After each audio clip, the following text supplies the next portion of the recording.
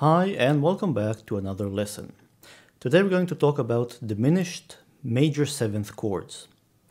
Now a diminished seventh chord, like this C diminished 7, is a chord which is made out of uh, three um, minor third intervals. So starting at C, I take 1, 2, 3, and then 1, 2, 3, and then 1, 2, 3. That is three minor third intervals, and I get a diminished seventh chord. A diminished major seventh is one in which the final interval is not a minor third, but a perfect fourth, which has five semitones. So I would still have the lowermost three notes, but then I would count one, two, three, four, five, and would get a C diminished major seventh chord.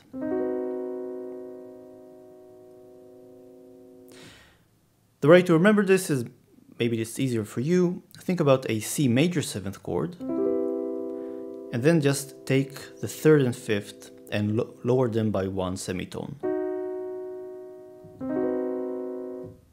Now, diminished major seventh chords have a pretty interesting and somewhat unusual sound.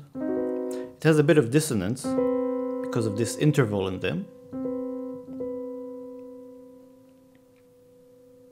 And they have several uses which I'm going to sort of go over in this video. First use, which is really kind of simple, as is as a precursor to the uh, root chord. So if you're in the key of C major, and you want to, you have a chord progression and it ends with a C major seventh, you can precede it with a C diminished major seventh chord. And you'll hear this in a lot of jazz tunes. So you'll hear my, maybe something like this.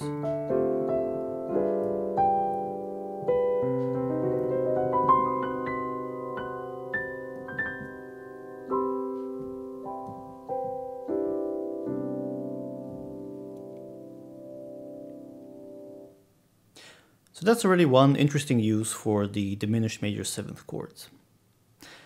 Sometimes, by the way, some pianists actually don't resolve the diminished major seventh to the major seventh chord.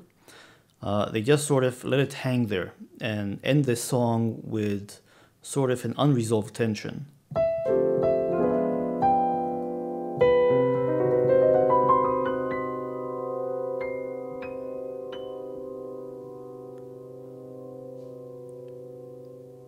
So that's an artistic choice which I'll leave up to you. Now to examine some of the other uses of the diminished major seventh chord, uh, let's just play a little tune. So first of all, just play it and then I'll go over some of the places where the diminished major seventh chord was featured and sort of discuss its uses.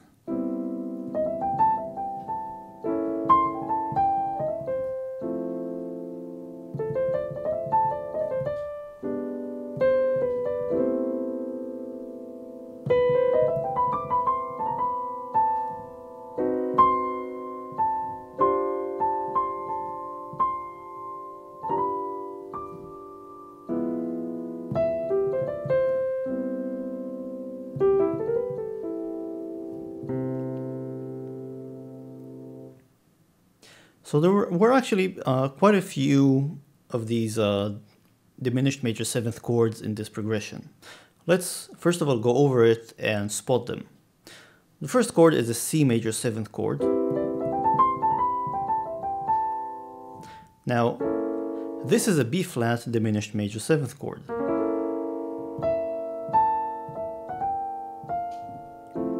which resolves itself to an F major seventh chord which then goes to a G sharp diminished major seventh chord.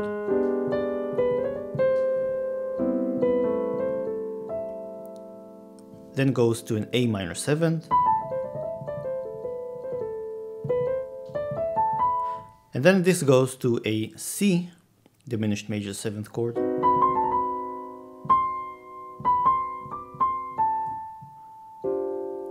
Which resolves to a G dominant 7 sus4, which then resolves to a G dominant 7th,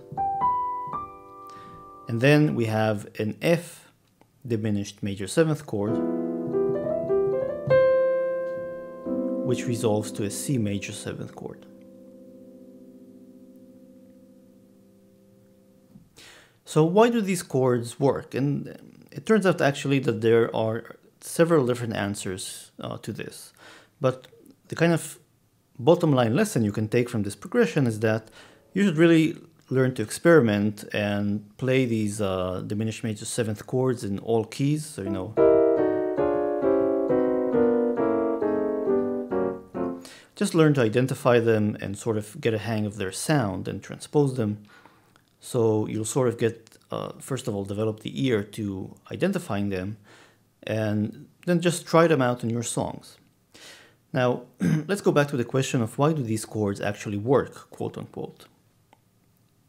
Well, the answer in many of the cases has to do with the fact that let's let's look at a C dominant seventh chord. And this is made of a C, E, G, and B flat. And as you know, or maybe you don't, so I'll tell you now, the most important notes here are the E and the B flat, which are the third and flattened seventh. So these really define the sound of your dominant uh, seventh chord. Now, if I were to build a diminished major seventh chord on either the third degree or the flattened seventh degree, I would notice something very interesting. So let's first of all build it on the third degree.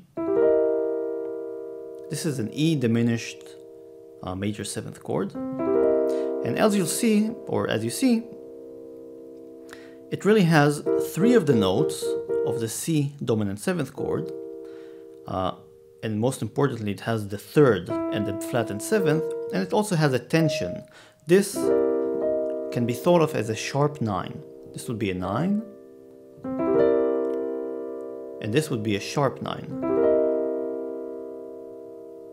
So when you're playing this, you're really playing a C dominant seventh with a sharp nine. And this can substitute for a C dominant seventh chord. Of course, depending or you know, depending on whether this tension doesn't collide with your melody.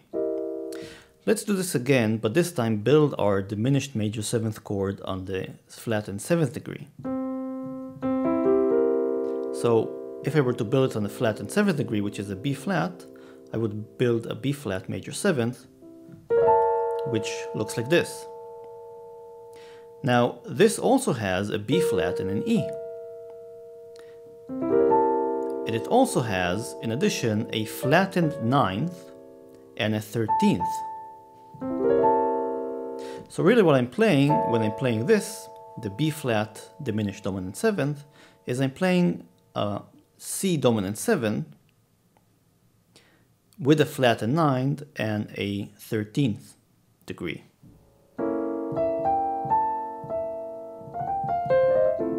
And this sort of explains, you know, these, these two ways of thinking about the chord explains actually why this works. And let's go back to the progression and I'll walk you through it. We start with a C, major 7.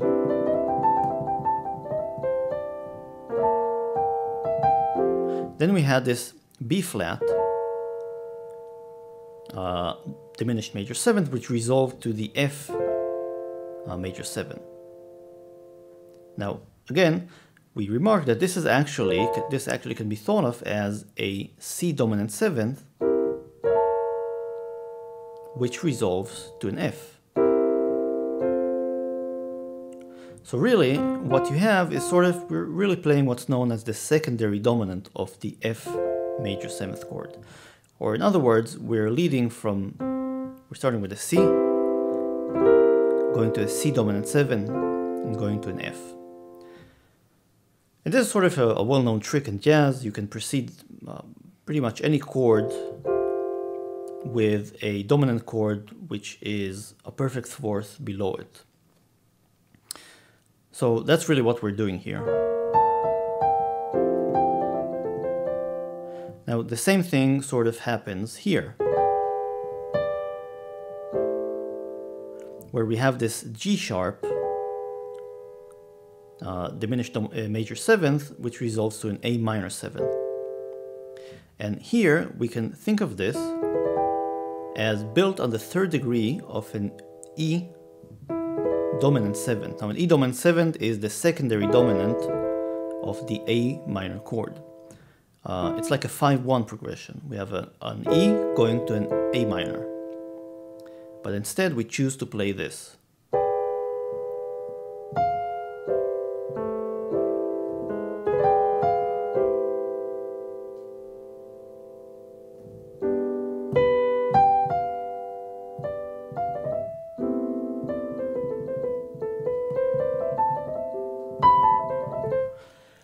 So you see how either building, either you, know, you can you can actually think of this as really built on the third degree of an E, major seventh chord, or you can actually also think of this as, you know, what is this, the seventh of, and this is the, the flattened seventh of a B flat dominant seventh.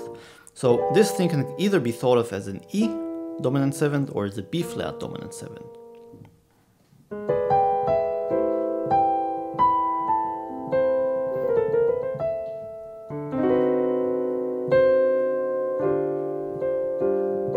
Now the next chord or next chord pair was this.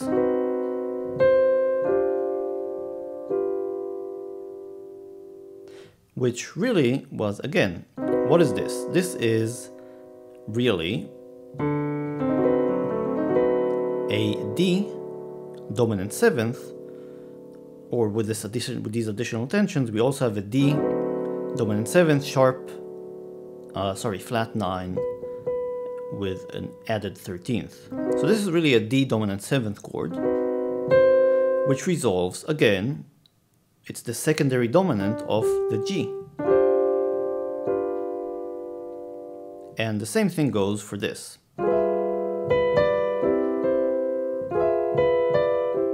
Why does the F diminished dominant 7th uh, works? work? I mean, why does it resolve well to the C major 7?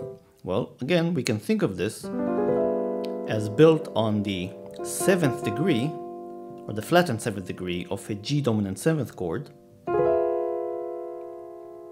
which then leads to a C major seventh uh, root.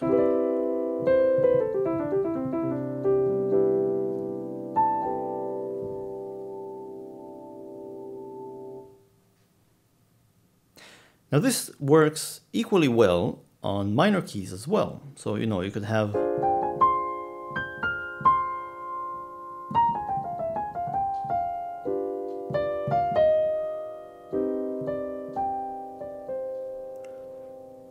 and you can substitute, well, really you could take this G dominant seventh and play either uh, the diminished major seventh on its third degree or try to play it on the seventh, flattened seventh degree. Uh, and it actually works pretty well on the third degree here.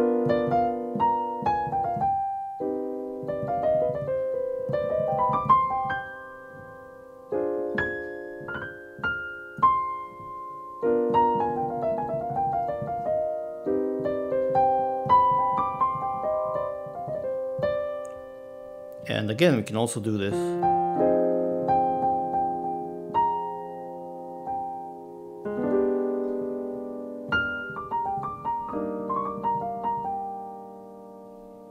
So here I was doing an F minor seventh, going to a B flat,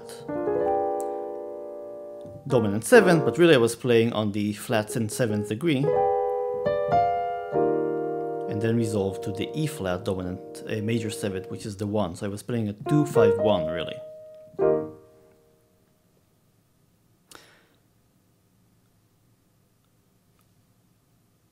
One more use out of this, uh, let's look at, I mean, uh, one, one additional way you can use these diminished major seventh chords is as a substitution for a regular diminished seventh chord. So any, anytime you see a chord like, let's say, an E flat diminished seven, you can try and substitute it for uh, an E flat diminished major seven. Now this might or might not work depending on whether this tension uh, actually fits in with the melody. But then really it uh, amounts to how well you know how to use your diminished chords. And of course, I'll, I'll, i have a video on this already, and I'll probably have at least another one because they're such interesting chords. Uh, but the point is that if you know where to use diminished seventh chords or diminished chords in general, you can try to substitute them for uh, diminished major seventh chords.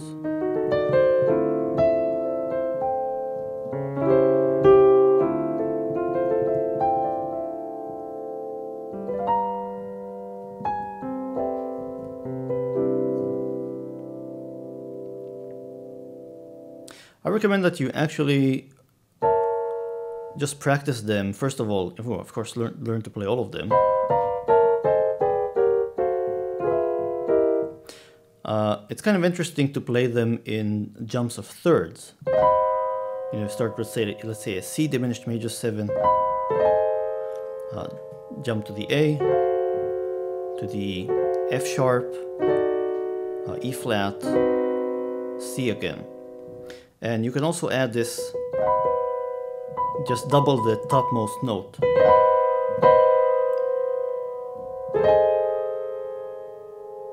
And again, go down by a uh, minor third. Uh, so you'd get, and again, it gives it sort of a nice dissonant sound.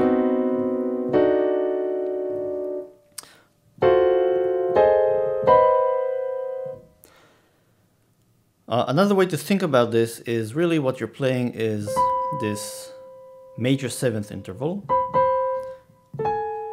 which is kind of dissonant really when you think about it.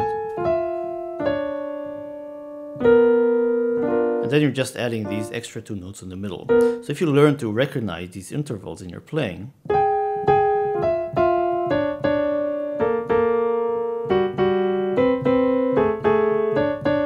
uh, you'll sort of also learn to recognize and add and play these diminished major seventh chords. That's it for now. I hope you've learned something interesting and I'll see you next time.